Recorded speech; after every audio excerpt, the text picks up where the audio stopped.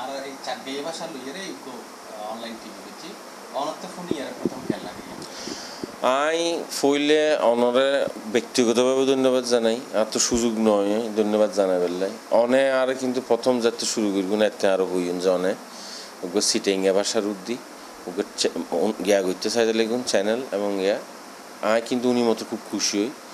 যদিও বা পরবর্তীতে আমি বিভিন্ন হারানো যায়, সময়ের হারানো যায় গিয়া করি না পারি, কিন্তু আমি কিন্তু সবসময় মানে মনত রেখি যে আর আর সিটিংয়ে বাসার চ্যানেল চালুই।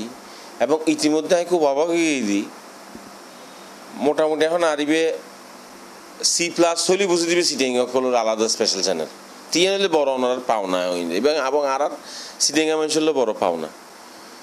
আর আল্লাহ দিলে আর সিটিংয়া মানুষ উদু দেশত ন মধ্যপ্রাচ্য আমেরিকা ইউরোপ বহু জায়গা তারা সিটিং দেশ, দেশিত মানুষজন আছে। ই তারা স্বাভাবিকভাবেই যেহেতু আমি বিদেশত লেখাপড়া করি আমি জানি, দেশত বার তাহলে দেশের মায়ার প্রতি বেশি মায়া জমে। আর সিটেঙ্গা মানুষ বিদেশত বইয়েরে সিটেঙ্গা অনুষ্ঠান উপভোগ করে ইয়াত বড় পাওনা সিটেঙ্গা মানুষের আর কি ইচ্ছা তাই খুব আনন্দিত। ওনারা যে হাসাম করতে লাগুন। বিভিন্ন চট্টগ্রামের সুবিধা, অসুবিধা উড়ে দিতে লাগুন মানুষের আছে, সরকারের আছে।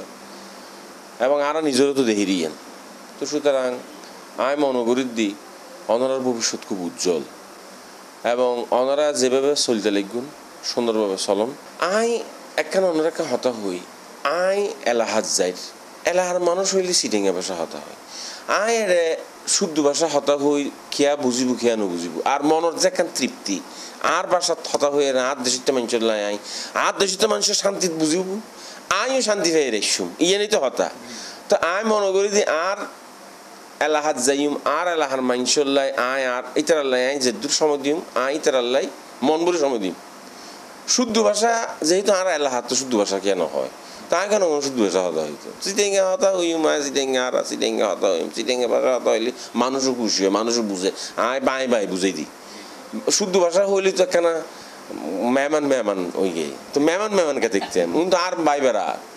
আর বাপসা বাই বা তো তাই মেহমানকে দেখতাম। নিজেকেও নিজেকে মেহমান হয় না। এত লাই সিটিংয়ে ভাষা হয়েছে এবং আই দর্শক সকলের আর দেশর বিদেশত যারা আছে, বেগুনের আর অনেক অনেক শুভেচ্ছা।